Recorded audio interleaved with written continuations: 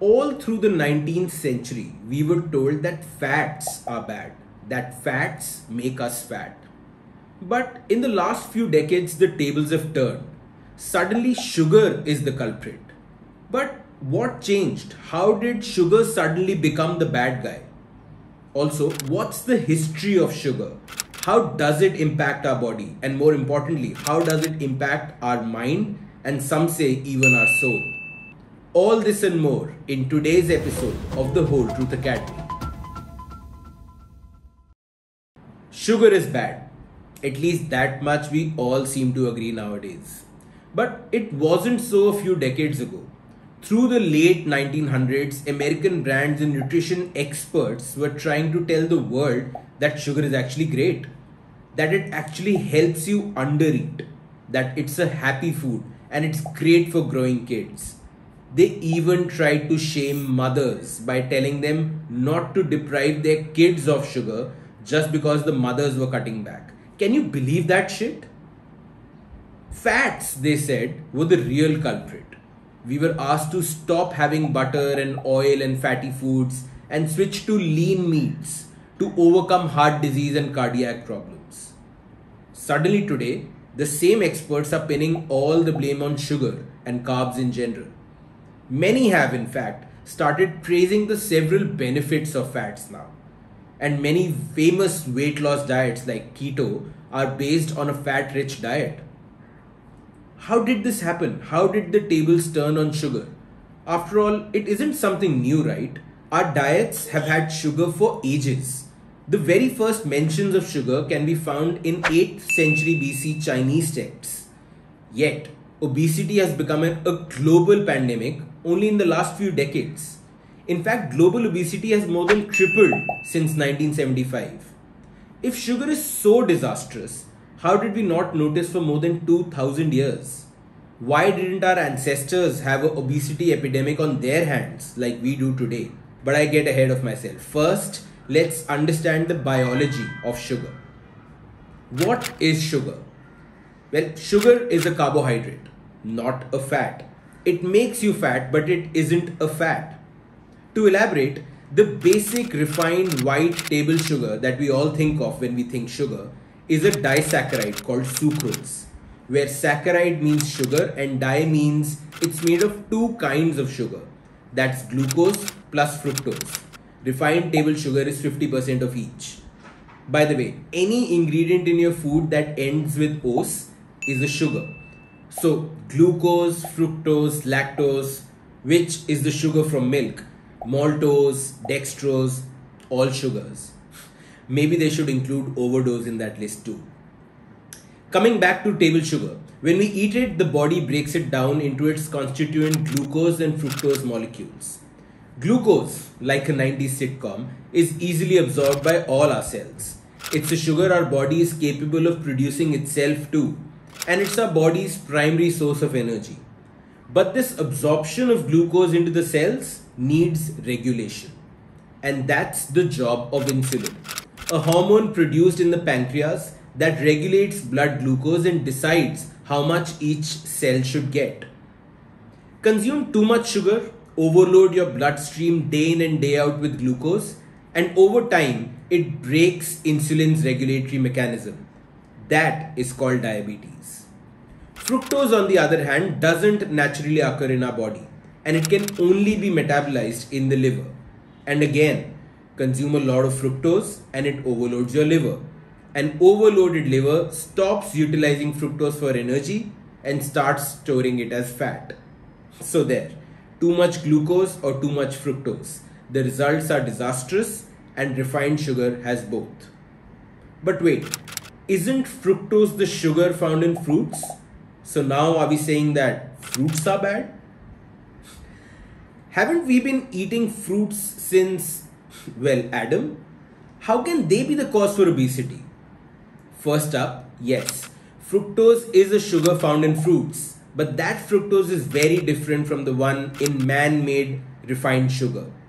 Consider this a 500 ml bottle of cola has about 55 grams of HFCS or high fructose corn syrup.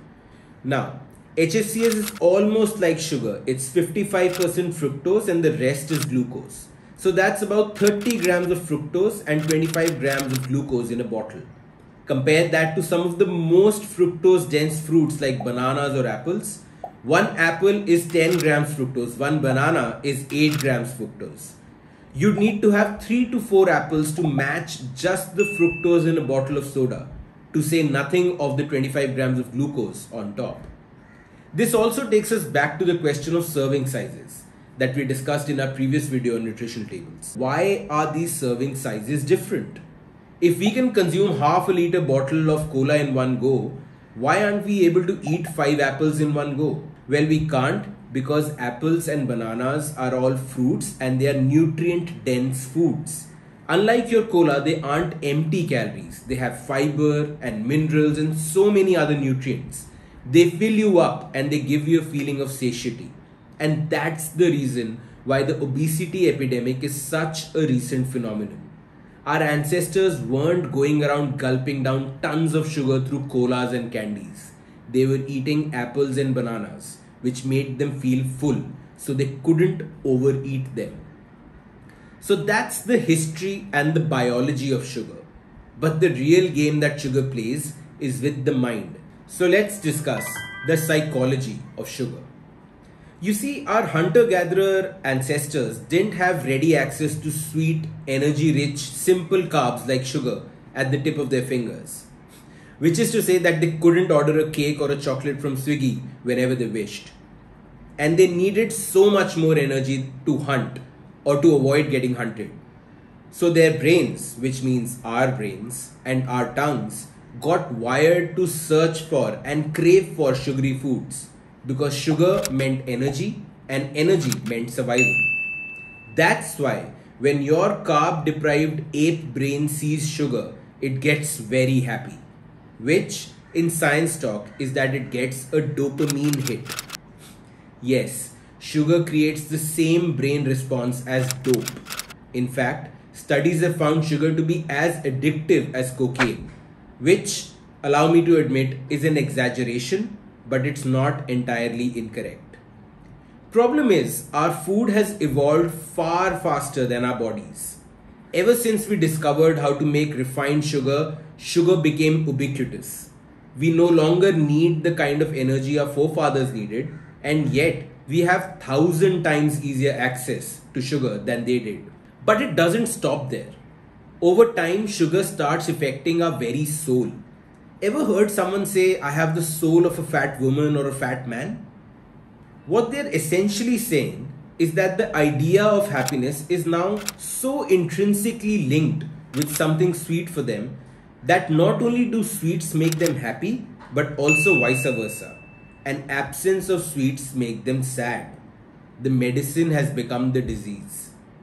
And here's the final stroke.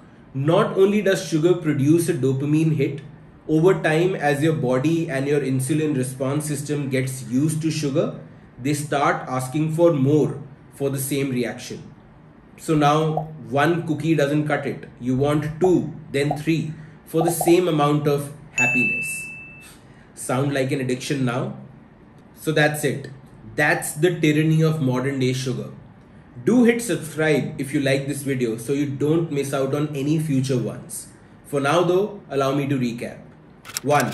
Sugar isn't new. Refined, man made sugar produced commercially and put into every possible food on the planet, that's new. And that's the reason behind the global obesity epidemic. 2.